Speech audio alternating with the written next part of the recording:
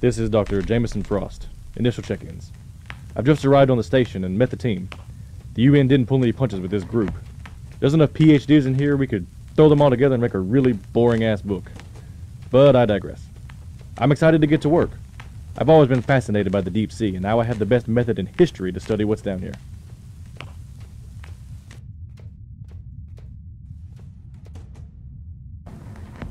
My name is Adrian Sokolov, and I'm the main engineer that designed and built this facility.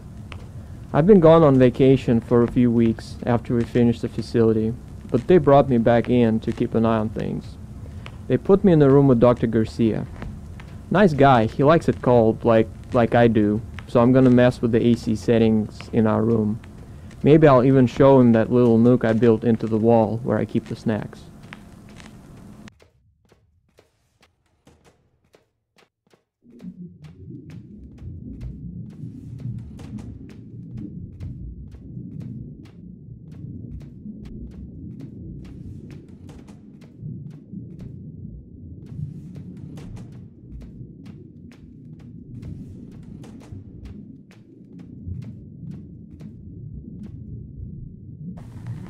Ever try to have a conversation about your work as a seismologist with your biologist roommate?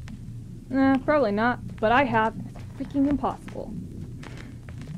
Sarah completely ignored me until I mentioned there might be an earthquake, and she just was full of questions. I eventually resigned to just tell her it's probably nothing. Hope I'm right.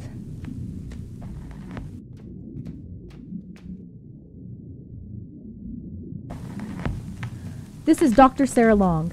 They want us to record our thoughts and discoveries on these wrist mounted computers. I'm more of a written word kind of person, but this isn't so bad. My roommate is Dr. Weatherby. She is young and kind of wide eyed, but she works hard. I could do without the brown nosing. I'm here to work and change the face of science after all.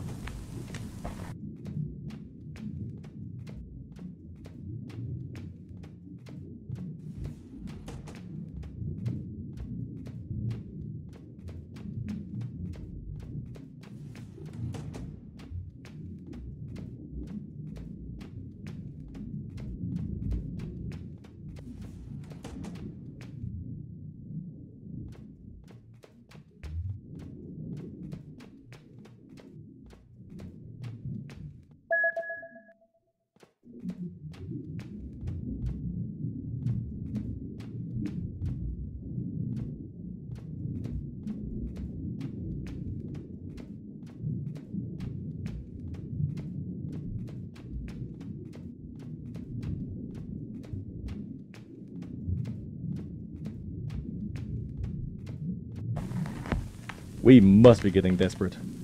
We're having a physicist analyze our maybe fish, maybe not fish, unidentified life form. We have tons of data, but no point of reference. Cthulhu's skin is most adequately described as fish-like. He doesn't have bones, much like an octopus, but seems to have no issue forming rigid shapes with his muscles. We aren't sure if his form is a matter of preference or instinct, but we notice the amount of limbs he has, spots where he is bioluminescent, and even where his orifices are, are all subject to change. He has a highly developed brain, and the only thing I can call him right now is an octopus, fish, human hybrid.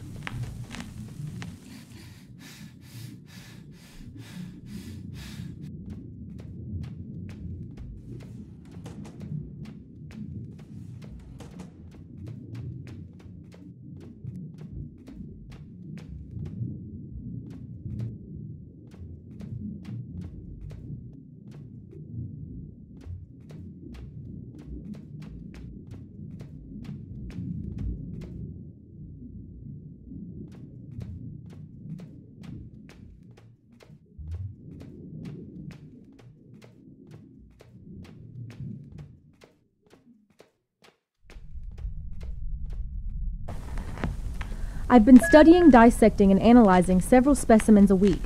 This is a dream come true. Everyone here is excited about everything we are discovering, but I don't think they really appreciate the importance of our work. I mean, discoveries haven't been made at this rate since the turn of the 18th century. We could really be looking at something world changing here.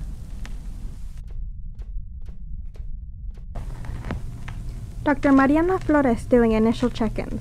I got here first, so it was kind of lonely for a little while, but I soon met my roommate, Dr. Cerny. I told her that joke about what physicists and seismologists have in common, but I messed up the punchline and the joke didn't land. Good job, Mariana. Should have just made a fish joke.